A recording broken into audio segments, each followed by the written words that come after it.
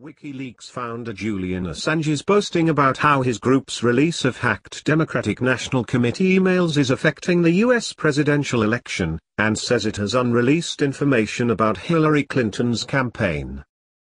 We have more material related to the Hillary Clinton campaign, Assange told CNN's Anderson Cooper on Anderson 360 Friday night.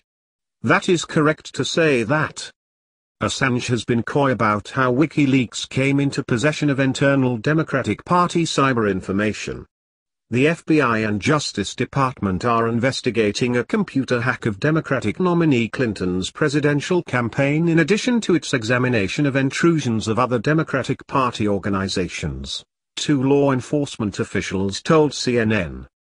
The revelation comes just days after the leak of thousands of Democratic National Committee emails, U.S. officials allege Russian hackers, prompted major turmoil within the party, causing the abrupt resignation of its chairwoman, Representative Debbie Wasserman Schultz. Assange said release of the information was timed to coincide with the start of the Democratic National Convention. That's when we knew there would be maximum interest by readers, but also, we have a responsibility to, Assange said. If we published after, you can just imagine how outraged the Democratic voting population would have been. It had to had to have been before the convention.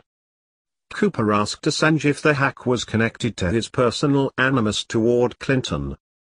There is a question whether you have a personal animus toward Hillary Clinton.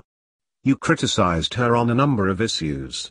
You gave an interview to the British network back in June, suggesting you are more concerned about Clinton at least in terms of press freedom than Donald Trump, Cooper said. Do you stand by that? Is this based on a personal animus? But Assange pushed back on the idea that he wanted to harm Clinton. You can go back and look at that interview. I never said I wanted to do harm to Hillary Clinton, anything like that, he said. It was the presenter that used that term. Assange also said more material is forthcoming that is extremely interesting. We have more material related to the Hillary Clinton campaign. That is correct to say that, he said. Those are extremely interesting. We will see what will come of them. Assange spoke from the Ecuadorian embassy in London, where he faces extradition over sexual assault.